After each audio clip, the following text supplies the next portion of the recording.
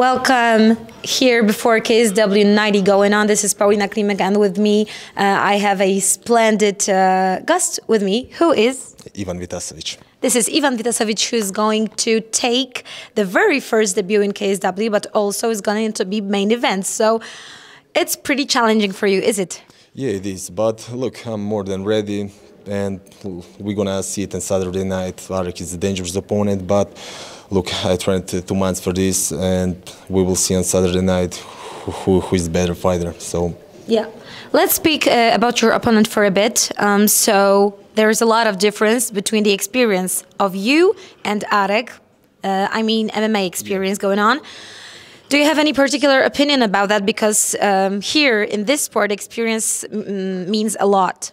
Yeah, but uh, look, uh, he's not just MMA guy. Look, he fought in uh, in kickboxing for for all of his life, and he probably have more experience than me. So, okay, I got uh, maybe 10 or 15 fights more in MMA than he, than he. But look, in kickboxing, he's more more um, experienced fighter, and we will see. I say I I didn't didn't disrespect this guy even a second because I know he got a lot loads of skills and and that's it.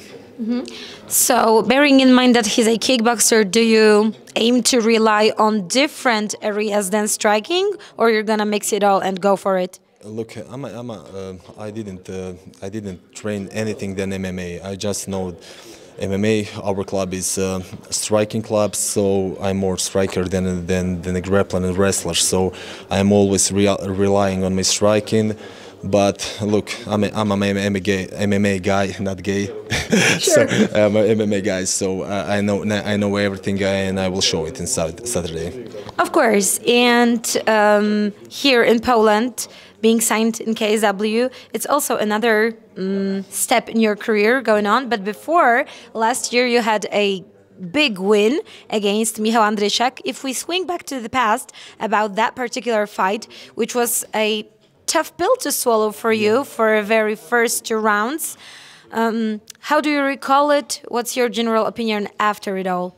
Look, uh, was uh, one of one of the toughest opponents, one of the toughest fight in my career. So look, first round, it's it, it, wasn't good for me. So he he beat me first round, but look, I, I, have a good cardio. So in the third round, he fall down. I I'm I can go five rounds, three rounds, all the same pace. So I'm always more than ready. So look. Um, I know every every every opponent that I face, uh, first round is, is the hardest because they are explosive, they are more stronger than me. But uh, as a fight fight going on, I'm, I'm going to be stronger than them, faster than them, and have more cardio than them, and they, they they need to face that, not me. So. I'm, I'm, I'm, I'm going to survive the first round in every MMA fight, but they need to survive the, the rest. All right.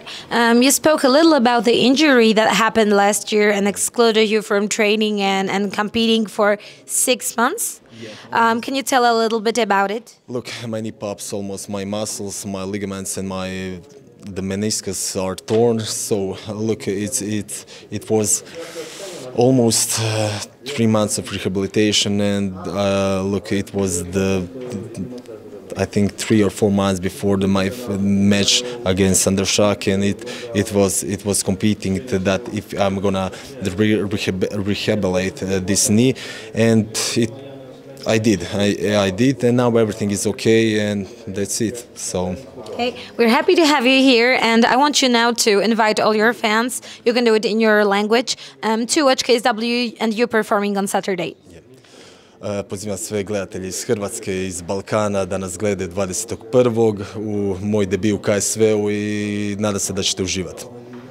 Thank you so much and we are keeping the fingers crossed for you fighting on Saturday. Thank you.